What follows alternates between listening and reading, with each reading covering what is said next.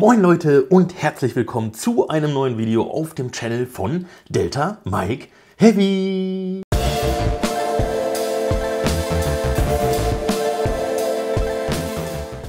In diesem Video soll es mal um ein Thema gehen, was wirklich viele Leute interessiert. Und zwar geht es um die Theorieprüfung und die damit verbundenen Hilfsmittel, die man in der Theorieprüfung benutzen darf. Und davon gibt es so einige und diese möchte ich euch mal vorstellen und unbedingt ans Herz legen. Fangen wir an mit dem sogenannten Navigation Plotter. Der Navigation Plotter ist einfach nur ein kleines Lineal sozusagen.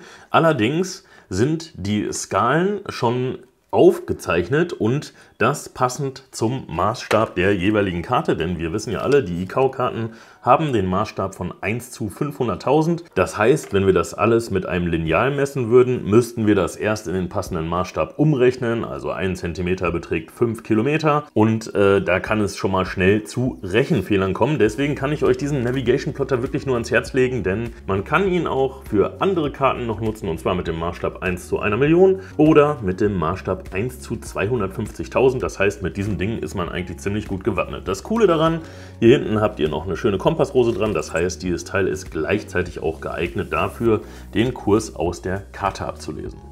Kommen wir zum Hilfsmittel Nummer 2 und das ist für mich eigentlich der absolute Gamechanger für die Theorieprüfung und zwar ist es der sogenannte Drehmeier oder auch Flight Computer.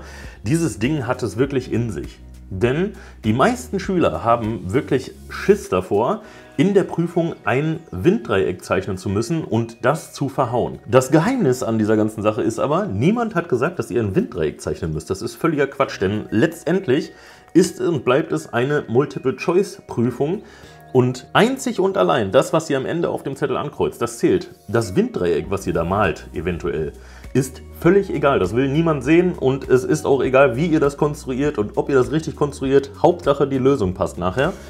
Und deswegen empfehle ich euch diesen Drehmeier. Es gibt ein Video von mir, das könnt ihr euch gerne mal angucken, verlinke ich euch hier oben. Das ist so eine Art Step-by-Step-Guide. Schaut euch das einfach mal an, denn das Coole an diesem Drehmeier ist tatsächlich, dass die Anleitung, um den Wind Correction Angle zu ermitteln, genau hier oben steht und zwar Step by Step. Und das Ding solltet ihr unbedingt mit in die Prüfung nehmen, denn damit berechnet ihr den Wind Correction Angle innerhalb von, ich würde sagen, 30 Sekunden. Das nächste Hilfsmittel, das wirklich absolut obligatorisch ist meiner Meinung nach, ist dieser Fliegertaschenkalender. Fast jeder kennt ihn und der ist Gold wert, ich sag's euch. Nehmen wir mal als Beispiel die Lichtzeichen. Ihr fliegt mit eurem UL einen Flugplatz an und plötzlich wird rotes Blinklicht auf euch gerichtet. Was bedeutet das? Fällt einem gar nicht mal so schnell ein, denke ich mal. Oder was bedeutet es denn, wenn das blinkende rote Licht auf euch gerichtet wird, wenn ihr am Boden seid? Wisst ihr es auswendig? Wenn ihr damit Probleme habt, euch das zu merken, dann Nehmt diesen Fliegerkalender mit in die Prüfung und siehe da, schon auf Seite 2 werden alle Lichtzeichen für euch erklärt. Das heißt, ihr müsst einfach nur einen ganz kleinen Blick in diesen Fliegertaschenkalender werfen und schon habt ihr die Lösung nicht nur schwarz auf weiß, sondern sogar in Farbe vor euch liegen. Also das mit den Blinklichtern ist jetzt natürlich nicht das einzige Beispiel. Ne? Es gibt zum Beispiel auch hier in einem Kapitel die komplette GAFOR-Tabelle mit allen Sichtminima, die dafür gelten. Oder einfach auch die gesamte Luftraumstruktur von Deutschland. Und zwar, das ist noch viel wichtiger, auf der nächsten Seite, inklusive aller notwendigen und einzuhaltenden Sichtminima und Wolkenabstände. Da habt ihr alles schwarz auf weiß stehen und davon gibt es ja auch etliche Fragen im Fragenkatalog, deswegen wird euch dieses Schaubild natürlich auch weiterhelfen. Wichtig bei dem Fliegertaschenkalender ist, keine eigenen Notizen reinschreiben und auch keine Post-its hier reinkleben, denn der Fliegertaschenkalender muss sauber sein für die Prüfung. Das heißt, er muss im Prinzip so wie aus dem Laden äh, vorliegen. Deswegen kann ich euch diesen Fliegertaschenkalender nur ans Herz legen und der sollte für euch wirklich obligatorisch in eurer Dokumententasche oder in eurer Pilotenbag rumliegen. Als nächstes, wichtiger als man denkt, ist ein schlichter Schmierzettel. Und zwar dafür, wenn ihr beispielsweise ähm, irgendwie so eine Art Schreibtischtest machen müsst. Schreibtischtest bedeutet, ihr baut euch irgendwas im Kopf zusammen. Beispielsweise die Frage lautet, ihr befindet euch im Querabflug und fliegt den Kurs von 1,50 Grad.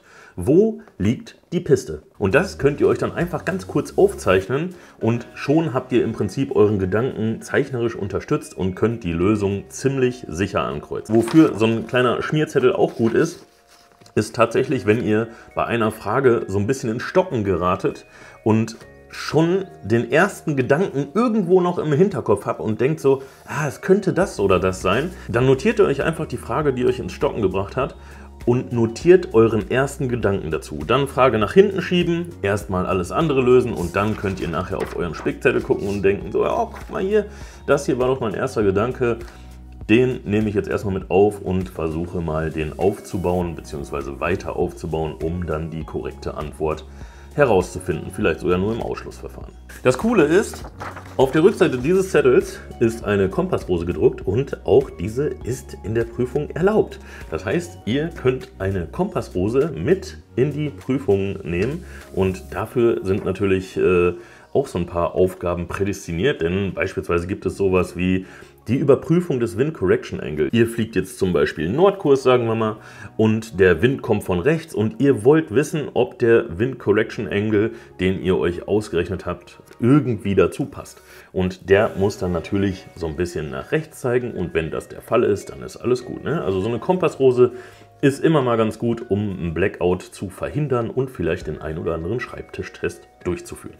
Als nächstes gibt es leider das Problem, dass Smartphones natürlich nicht erlaubt sind. Das ist das große Problem. Das heißt, wenn ihr ein Smartphone dabei habt und ihr euch so denkt, so ach ja, die ganzen Berechnungen, die mache ich mal ganz easy im Smartphone, mm -mm, ist nicht. Smartphones sind nicht erlaubt. Deswegen ist es für euch wichtig und entscheidend, dass ihr vielleicht sogar aus eurer Schulzeit wie bei mir hier so einen schönen Texas Instruments Taschenrechner oder einfach einen haushaltsüblichen Taschenrechner mitbringt. Denn mit so einem Taschenrechner ist es etwas sicherer, nicht unbedingt einfacher, äh, Dreisatzrechnung zum Beispiel durchzuführen. Ich sag mal so, es gibt beispielsweise eine Aufgabe, dass ihr zum Beispiel 55 Minuten lang mit einem Ultraleichtflugzeug unterwegs seid, das irgendwie 17,5 Liter pro Stunde Benzin verbraucht. So, und dann steht da, der Benzinpreis liegt bei 2,48 Euro. Wie viel Geld müsst ihr mindestens einplanen, um die Strecke zurücklegen zu können? Solche Aufgaben existieren tatsächlich, deswegen ist so ein Taschenrechner sicherlich Gold wert, anstatt das alles irgendwie im Kopf auszurechnen oder ne, tatsächlich irgendwie auf dem Schmierblatt. Deswegen Taschenrechner mitnehmen.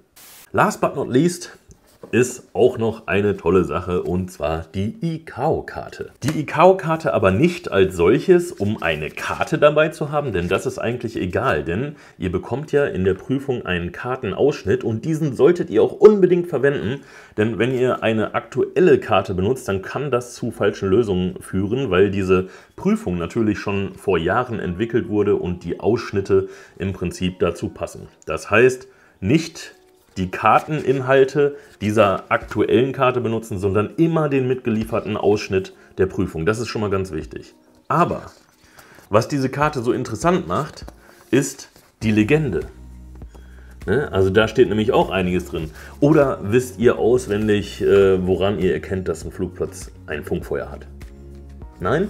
Okay, ist ja auch nicht schlimm, aber in dieser Legende ist dieses Symbol zu finden.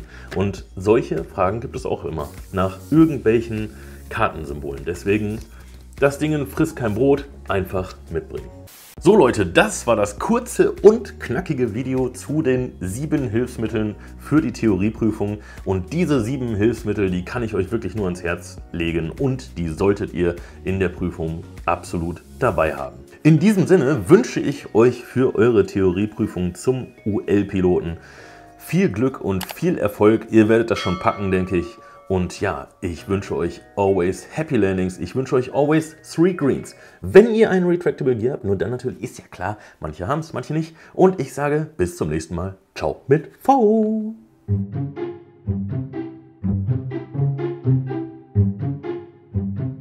Wunderbar, dann können wir auch direkt loslegen. Wenn ein Bling... Jo.